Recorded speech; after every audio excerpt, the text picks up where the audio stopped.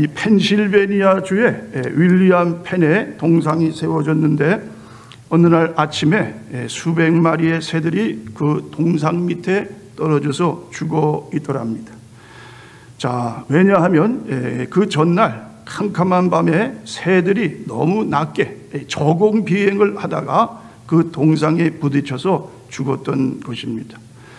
자, 오늘날 우리 성도들이 영적으로 높은 차원에서 살지 않고 세상 사람들과 다름없는 낮은 차원에서 살기 때문에 마귀의 공격을 받아서 실패를 당하거나 재난과 사고를 만나기도 합니다.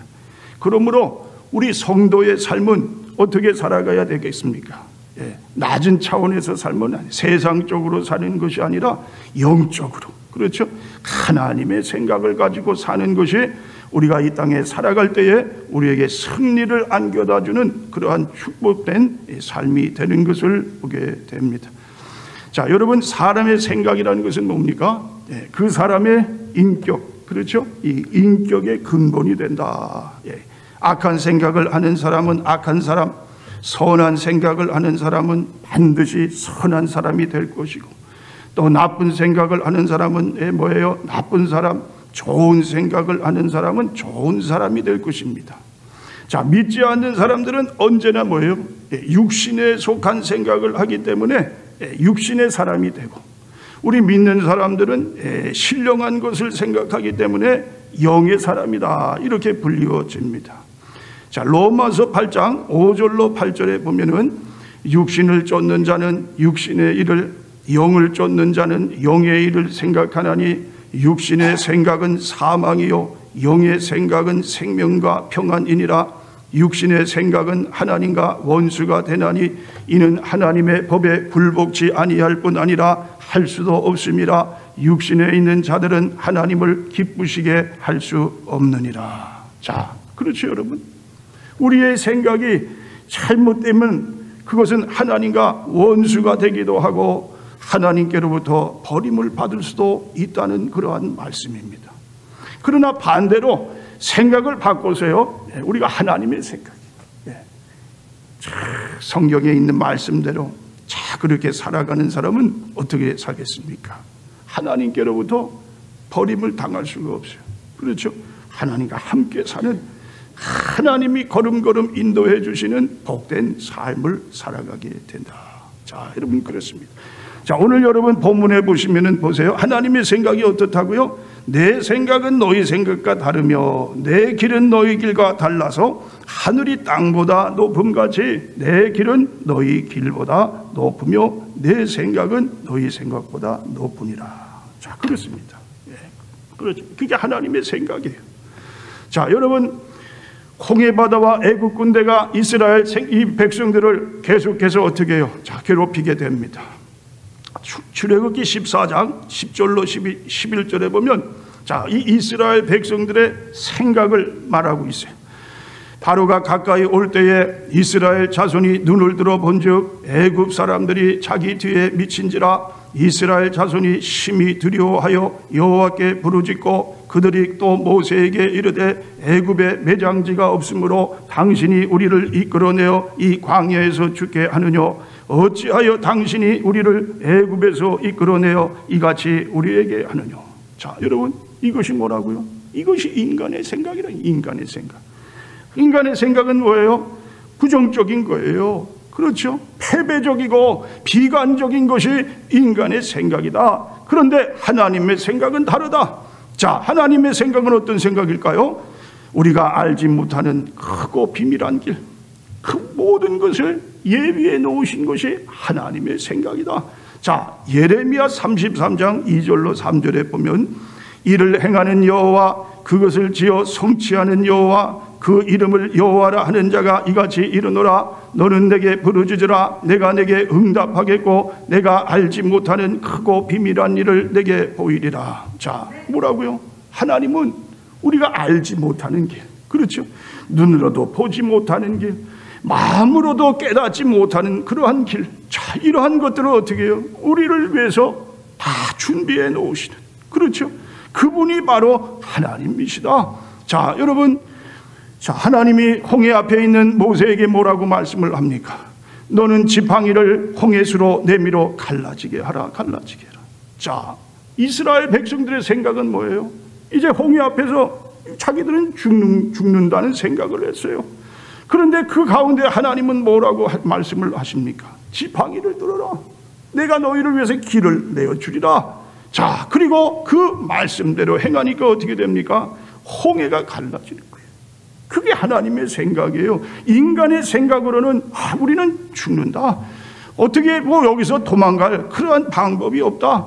더 이상 헤쳐나가지를 못하겠다. 난 여기서 이제는 이 주저앉고 더 이상 어떻게 해요? 내가 살아갈 수가 없다. 그런데 하나님께서는 뭐라고요? 아닙니다. 길을 열어 놓으셨어요. 준비해 놓으셨어요.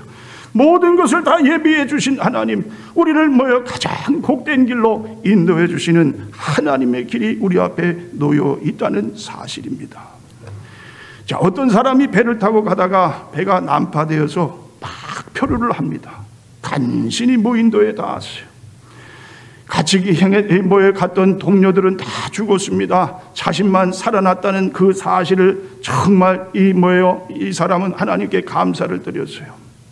자, 그리고 이제 그곳에 음막을 지었습니다. 아주 그냥 힘들게 힘들게 음막을 지고 또 이제 불을 피웠어요. 불을 피우는 것도 그렇게 쉬운 일이 아니었어요. 고생 고생하다가 불을 피워서 이제 고기를 잡아다가 자 어떻게 요 구워 먹게 됩니다. 어느 날 조개를 잡으러 바닷가로 나갔습니다. 자, 그리고 돌아와 보니까 그만 이 피워놓은 불이 움막에 옮겨 붙어가지고 다 타버리고 말았어요. 엎친 데 겹친 격으로 또 비가 모여 내리다, 내리면서 그 피워놓은 불까지도 다 꺼뜨려 버렸어요. 자, 이제는 또 다시 뭐예요? 음악을 지어야 될 생각을 하니까 너무너무 그냥 괴롭습니다. 죽고 싶은 마음만 이 마음에 간절하게 생기게 됩니다. 자, 그러다가 잠이 들었어요. 한참을 자고 일어났는데 보니까 웬 사람이 정말 자기에게 다가오게 됩니다. 아, 이게 어떤 일인가? 자, 당신들이 누굽니까? 자, 그랬더니 그들은 뭐예요? 자, 이곳에서 뭐요? 이 연기가 계속해서 쫙 하늘로 올라오는 것을 보고 자, 이곳에 분명히 이 사람이 있을 것이다 생각하고 찾아왔다는 겁니다. 자, 여러분, 하나님의 생각과 인간의 생각, 자, 이 사람이 생각하는 것과 하나님의 생각은 완전히 다르다는 겁니다. 그렇죠. 그게 하나님. 오늘 말씀하시는 대로 하나님은 뭐요? 하늘과 같은 생각, 땅보다는 뭐요? 높은 생각. 하나님의 길은 우리의 생각과는 전혀 다른 그러한 하나님의 길이 있다. 이 말씀입니다. 자, 여러분. 로마서 8장 28절에 보면 우리가 알거니와 하나님을 사랑하는 자, 곧 그 뜻대로 부르심을 입은 자들에게는 모든 것이 합력하여 선을 이루느니라. 자, 여기 보면 모든 것이라고 나왔어요. 모든 것은 뭐, 무슨 말씀입니까? 좋은 일도 있겠고, 나쁜 일도 있겠고 슬픈 일도 있겠고 기쁜 일도 있어요. 그렇죠? 자, 이것이 모든 것입니다. 하나님은 이 모든 것을 어떻게 해요? 다 합력을 시켜서 우리에게 가장 좋은 것을 주시는 하나님이심을 우리가 믿고 그 하나님께 영광을 돌리는 여러분과 제가 될 수 있기를 바랍니다. 자, 성경은 바로 이러한 하나님의 생각을 기록한 책입니다. 그러므로 우리가 성경을 읽으면 하나님의 생각을 알 수가 있어요. 자, 이사야 53장 4절에 보면 이런 하나님의 생각이 있습니다. 그는 실로 우리의 질고를 지고 우리의 슬픔을 당하였거늘 우리는 생각하기를 그는 징벌을 받아서 하나님에게 맞으며 고난을 당한다 하였노라. 자, 누구 이야기입니까? 예수님에 관한 이야기. 그런데 사람들은 무슨 생각을 하냐면요. 예수님이 어떻게 하셨다고요? 징벌을 받았다. 네. 그리고 그 고난을 당하고 어떻게 징벌을 받는 그런 이, 이 예수가 되었다. 자, 그러기 때문에 이 유대인들은 예수님을 믿지 못했어요. 그렇죠? 예수님이 이 땅에 오신 하나님이라는 것을 그들은 전혀 예, 그것을 알지를 못했어요. 자, 그리고 예수님이 십자가에 달려 죽으시는 것은 우리의 구원이라는 것은 그건 상상도 하지 못했어요.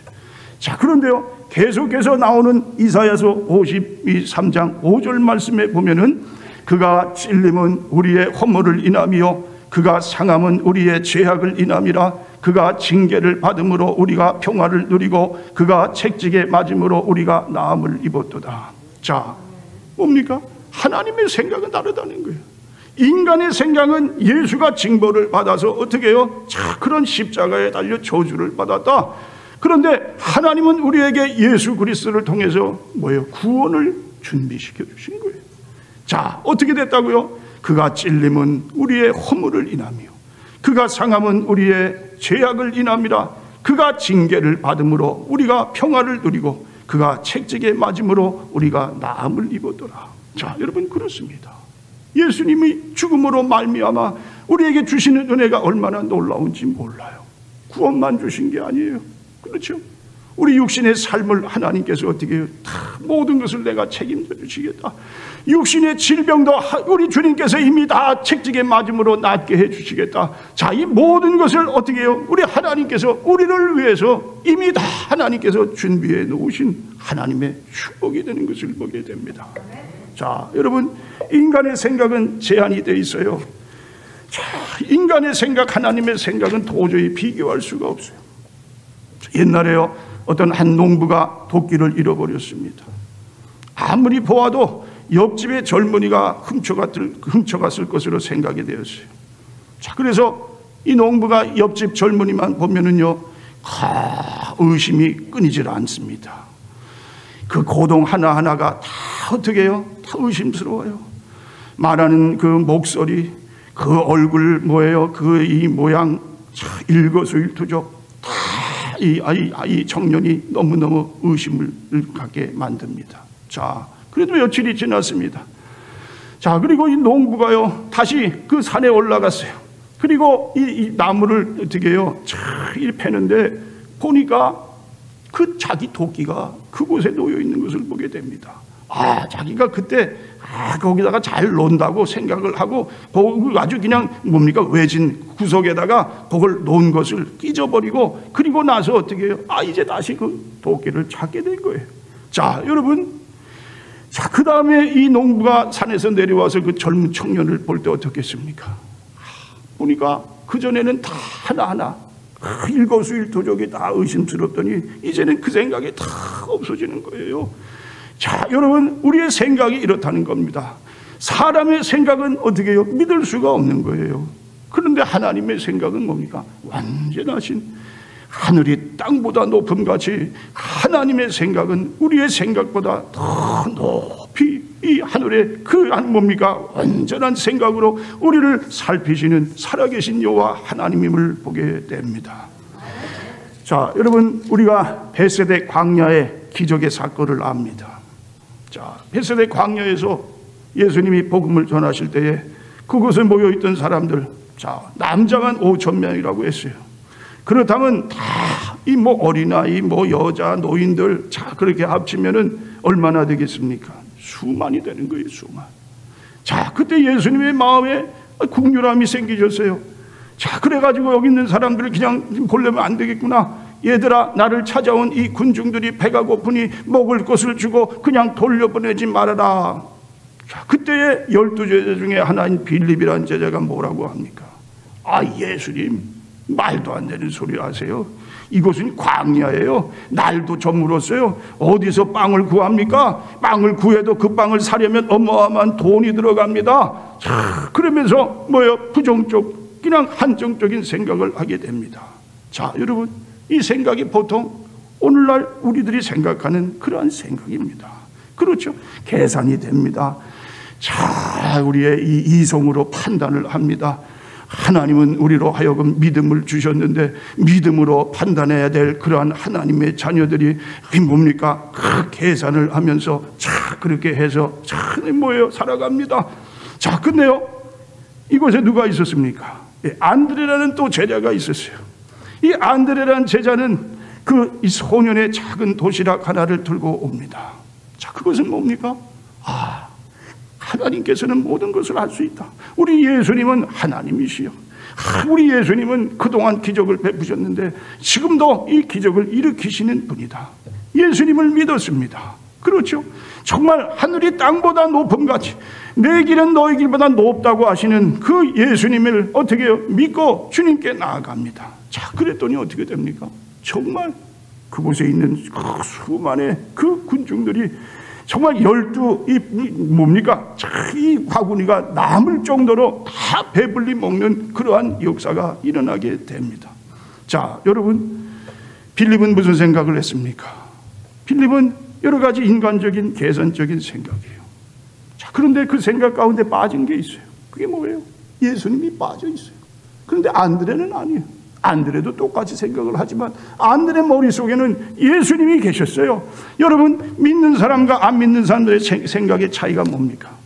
안 믿는 사람들은요, 뭐 생각을 많이 합니다. 모든 생각을 합니다. 그런데 그 생각 가운데 예수님을 계산하지 못해요. 근데 믿는 사람들은 뭐 믿는 사람들도 많은 생각을 해요. 그러나 그 생각 가운데 예수님을 꼭 어떻게 해요? 계산하고 예수님의 그 말씀대로 행하고자 하는 그러한 믿음을 가지고 사는 자가 바로 뭡니까? 믿음의 사람이다. 믿음의 사람. 여러분, 오늘날 우리들이 살아갈 때에 가장 큰 문제가 뭡니까? 자, 어떻게 살아갈까? 아마 경제적인 문제로 모든 사람들이 다 고통을 받고 살아가게 됩니다. 자, 여러분 마태복음 6장에 보면 예수님께서 무슨 말씀을 하세요? 무엇을 먹을까? 무엇을 마실까? 무엇을 입을까? 염려하지 말아라. 염려하지. 내일 일을 위하여 염려하지 말아라. 말아라. 자, 이 염려라는 것은 바로 뭐예요? 죄악이다. 죄악. 이방인들이 구하는 거 이방인들. 그렇죠? 자, 이방인들은 하나님을 모르고 사는 사람이에요. 그런데 우리가 하나님을 믿고 사는 사람들이 이렇게 똑같이 염려하며 살아간다는 건 그건 하나님을 어떻게 해요? 믿지 않겠다는 거예요. 나는 하나님 없이 산다는 거예요. 나는 하나님이란 존재는 나하고는 상관이 없다. 그것이 곧 뭐라고요? 그것이 죄라는 겁니다. 성경은 우리에게 이렇게 말씀을 해주세요. 자, 왜 염려와 근심을 하지 말라고 했을까요? 자, 그 이유를 세 가지만 여러분에게 말씀을 드리고 말씀을 마치기로 하겠는데 첫 번째는 뭐냐면요. 염려와 근심은 우리를 먹여주시고 입혀주시는 하나님의 사랑을 믿지 않는 불신앙의 표시다. 표시. 그렇죠? 하나님이 우리를 사랑하시는데 그 사랑을 우리는 뭐예요? 나는 믿지 않겠다는 거예요. 자, 마태복음 6장 26절에 공중의 새를 보라 심지도 않고 거두지도 않고 창고에 모아 들이지도 아니하되 너희 천부께서 기르시나니 너희는 이것들보다 귀하지 아니하냐. 자, 여러분 공중의 새도 누가 기르신다고요? 하나님이 기르시는 거예요, 하나님. 하나님이 다 먹여주신다. 그런데 하물며 우리 인간, 만물의 영자, 하나님께서 지으셔서 그 영혼을 어떻게 구원하시고자 하는 그 이 인간을 하나님께서 그냥 놔두시겠느냐? 들의 백합화가 어떻게 자라는가 생각하여 보라. 수고도 아니하고 길쌈도 아니하느니라. 오늘 있다가 내일 아궁이에 던지우는 들풀도 하나님이 이렇게 입히시거든 하물며 너희일까 보냐 믿음이 적은 자들아. 그러므로 무엇을 먹을까 무엇을 마실까 무엇을 입을까 하지 말라. 이는 다 이방인들이 구하는 것이라 너희 천부께서 이 모든 것이 너희에게 있어야 할 줄을 아시느니라 하시느니라. 자, 이것이 뭡니까? 하나님의 인간, 우리를 향한 사랑이라는 거예요. 이렇게 사랑하시는 하나님이 나와 함께 하는데 그 하나님을 믿지 못한다는 것은 뭡니까? 그거는 정말 하나님 앞에 범죄와 같은 그러한 일이다. 자, 여러분, 아기가 자기 엄마랑 같이 있으면 어떨까요? 그냥 엄마만 옆에 있어주면 그 아기는 아무 근심이 없는 거예요. 그렇죠? 자, 그런 거 같다. 우리는 하나님 아버지를 아빠, 아바 아버지. 정말 하나님께 우리 우리는 다 뭐예요? 어린 그러한 아주 그냥 아무것도 할 수 없는 그러한 아주 어린 아기와 같은 자들이다. 자, 그런 자들이 하나님이 우리를 어떻게? 길러 주신다는데 하나님이 염려하지 말라고 하는데 염려하게 되면 그것은 하나님 아버지의 사랑을 어떻게? 부인하는 거예요. 못 믿겠다는 거예요. 자, 그리고 또 두 번째는요. 내일 일을 염려하는 것은 우리의 삶을 주관하시는 하나님의 섭리를 무시하는 교만이다. 교만. 자, 또 마태복음 6장 34절에 보면 이런 말씀을 합니다. 그러므로 내일 일을 위하여 염려하지 말라. 내일 일은 내일 염려할 것이요. 한날 괴로움은 그날의 족하니라. 자, 여러분 우리가 염려 근심하는 거는요. 대부분이 다 내일 지금 당장 일어나는 일에 대해서 하는 게 아니라 앞으로 일어날 것 같은 일들을 위해서 미리 어떻게 해요? 근심하는 거예요. 근심하는 거. 자, 미국의 어느 심리학팀이 근심걱정의 내용을 조사를 했습니다.